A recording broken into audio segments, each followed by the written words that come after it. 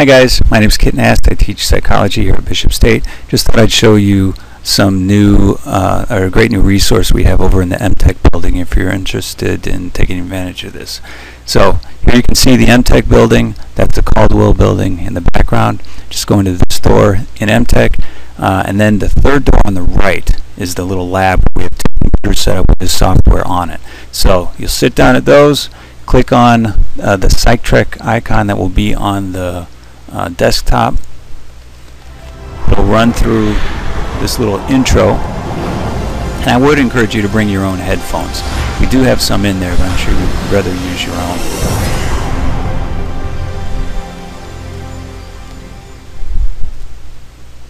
Okay, from here, just click on Start. And then don't worry about this, just click Skip Profile. And now I'm going to show you the learning modules, but you you can come back to these later on if you wanted to. So you'll see all the different units. Uh, the unit numbers here are not the same as the chapter numbers in your book, but you'll you can see which uh, the content of each of these. So you can come over here. Th this is everything in Unit 1. Now at the end of each section there is a, a short it's I think they call it a concept check where it's a, a, short multiple choice quiz and then after you get through all of these you can click the unit exam and take a 25 question test. So uh, let me just show you. Let's pick one of these. Uh, you can here. Let's get right into the content here. We'll click on that. Hopefully you'll be able to hear this.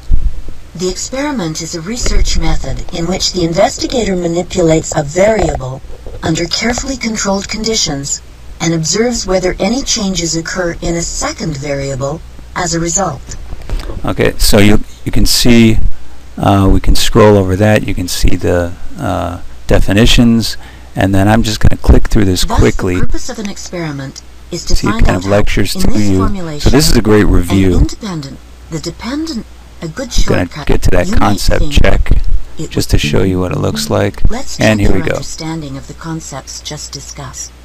So we can go through and oh, I was wrong there, wrong again. There's the correct answer. Okay, so you get the idea. So let me go back here.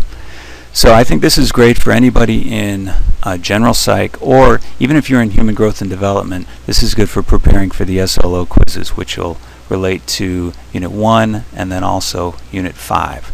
So again, this is in MTech. There are two computers with this software. So uh, come on over and take advantage of this if you'd like to.